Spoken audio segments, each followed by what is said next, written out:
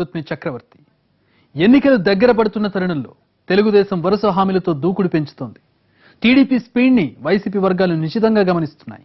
అధికార పార్టీ ఇచ్చే హామీలకు దీటుగా కౌంటర్ అటాక్ చేయడానికి స్కెచ్ గీస్తున్నారు ఆ పార్టీ నేతలు. ఆ క్రమంలో చంద్రబాబు తమ నవరత్నాలనే కాపీ కొడుతున్నారనే అంశాన్ని ప్రజల్లోకి బలంగా తీసుకువెళ్ళాలని పార్టీ హైకమాండ్ భావిస్తోంది. ఆంధ్రప్రదేశ్లో ఎన్నికల వేడి రాజుకుంటోంది. ఏ ఏ వర్గాలు అసంతృప్తిగా ఉన్నాయి? ఎన్నికలు ముంచుకొస్తూ ఉండడంతో ఎవరిని ఎలా సంతృప్తిపరిచి ఓట్లు కొల్లగొట్టాలి అన్న లెక్కలేసుకుంటూ పార్టీలు దూకుడు పెంచుతున్నాయి.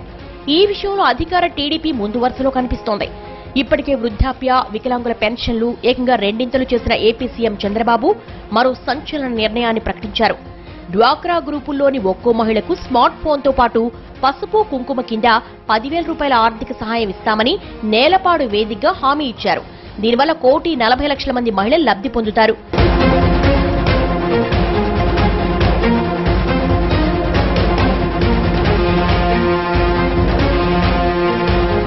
డ్వాక్రా మహిళల ఆర్థిక సహాయానికి అయ్యే మొత్తం బడ్జెట్ తొమ్మిది వేల నాలుగు వందల కోట్లు. అలాగే స్మార్ట్ ఫోన్ల కోసం ఎనిమిది నుంచి తొమ్మిది వేల కోట్లు అవుతాయని ప్రభుత్వ అంచనా. అలాగే వెలుగు ఉద్యోగులపై కూడా వరాలు కుమ్మరించారు. గతంలో ఇరవై శాతం జీతాల పెంపుదలకు హామీ ఇచ్చింది సర్కార్. అయితే ఇప్పుడు మరో పది శాతం అదనంగా జోడించి మొత్తం ముప్పై శాతం పెంచుతున్నట్లు ప్రకటించింది. పదివేల రూపాయలు రాబోయే రెండు నెలల్లో మీ అకౌంట్లో డబ్బులు వేసేట్టుగా మీకు చెక్కునిచ్చి మిమ్మల్ని గౌరవిస్తాం. అది కూడా మీరు ఒకసారి చూస్తే మామూలుగా ఈరోజు డబ్బులు ఇవ్వాలని ఇప్పుడు ఇబ్బందులున్నాం పదివేల రూపాయలకి రేపు రెండు మూడు నాలుగో తారీఖుల్లో పింఛన్లు ఇచ్చినప్పుడు ఈ చెక్కులు మీకు ఇస్తున్నాం. మూడు చెక్కులు ఇస్తున్నాం. టీడీపీ అధినేత చంద్రబాబు ఎన్నికల దూకుడు ఇస్తున్న హామీలను వైసీపీ హైకమాండ్ జాగ్రత్తగా పరిశీలిస్తోంది. మహిళలకు ప్రత్యక్షంగా ఆర్థిక లబ్ధి జరిగే ఇటువంటి పథకాల వల్ల ఓటింగ్పై ఎంత ప్రభావం ఉంటుంది? దీనివల్ల తమకు ఇబ్బందులు ఎదురవుతాయా?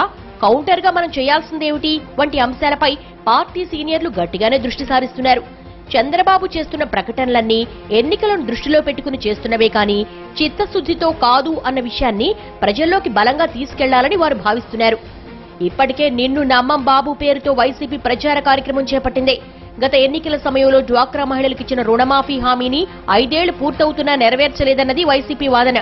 దానిపై మహిళల్లో ఉన్న ఆగ్రహాన్ని చల్లార్చడానికే పదివేల ఆర్థిక సహాయం స్మార్ట్ ఫోన్ అని హామీలు గుప్పిస్తోందన్న విషయాన్ని ప్రజలకు వివరించాలని పార్టీ శ్రేణులకు సమాచారం పంపిస్తున్నారు.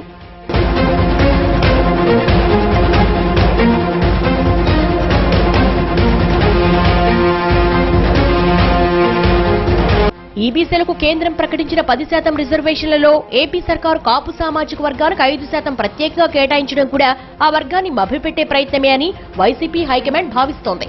అనేక సాంకేతిక సమస్యలు న్యాయపరమైన చిక్కులు ఉంటాయని తెలిసే కాపులకు ఐదు శాతం రిజర్వేషన్ ఇస్తామని మోసం చేస్తున్నారని వైసీపీ వర్గాలు విశ్లేషించుకుంటున్నాయి.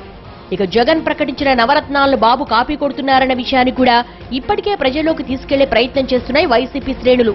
ఇంతకాలం రాష్ట్ర ప్రయోజనాలను గాలి కుదిలేసి ఇప్పుడు హడావుడిగా చేస్తున్న ప్రకటనల వల్ల తమకు ఇబ్బంది ఉండదని ఆ పార్టీ నేతలు ధీమా వ్యక్తం చేస్తున్నారు. టీడీపీ మోసాలను ప్రజలు ఇప్పటికే అర్థం చేసుకున్నారని అంటున్నారు.